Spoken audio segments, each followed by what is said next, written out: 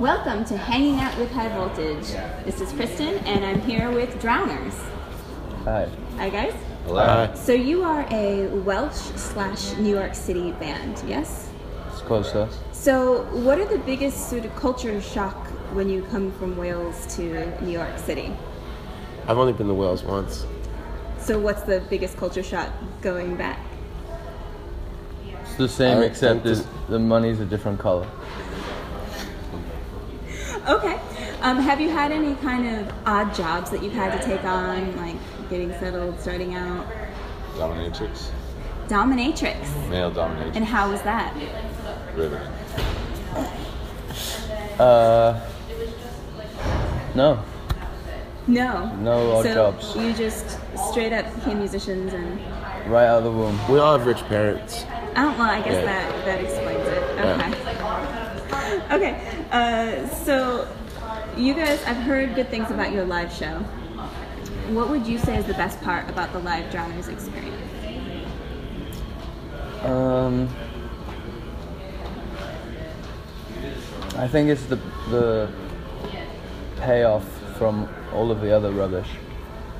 The sitting in vans, drinking in parking lots. Uh, that's the that's the pinnacle. That's- that's the. Have you done a lot of touring? Yeah. A lot of sitting in vans? Uh, yeah. Do you have any, any favorite places to visit? My favorite place to sit in the van is on the west coast. Why is that? Uh, you ever been down the Pacific Coast Highway? Yes, I live in Los Angeles. Well, that's that's why. So the view? Beautiful. Yeah? You like the water? Yeah, you're all right. Okay, last question. What does 2016 have in store for you guys? Uh, we have a new record out in June, and then probably a lot more touring after that. More sitting in vans and drinking in parking lots. Yeah, Sounds great. yeah. it's a hell of a way to live. Okay, are you ready now for do the yeah. quick fire challenge? Uh, Ready? it's a lot of cards. Yeah it is. A lot of questions you can get there. Alright, let's go. So, what's your favorite color? Well, it depends. Like uh, uh it's quick fire. so let's say blue.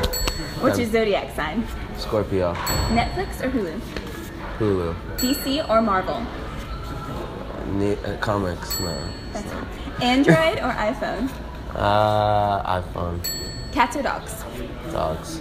Mickey Mouse or Bugs Bunny? Neither. Cups in the cupboard, right side up or upside down? I don't care. Coke or Pepsi? Again, kind of don't care. I guess Coke. Yeah, sure. Ice cream or yogurt? So, ice cream. Last physical CD you bought? Uh, wow. I have no idea. You must skip. Yeah. Okay. What did you have for breakfast? Uh, fucking breakfast tacos.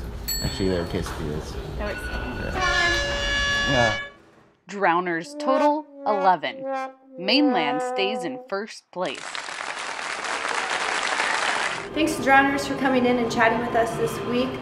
Our apologies to Dave Grohl. We'll have to reschedule you. We're sorry. But thanks for hanging with High Voltage.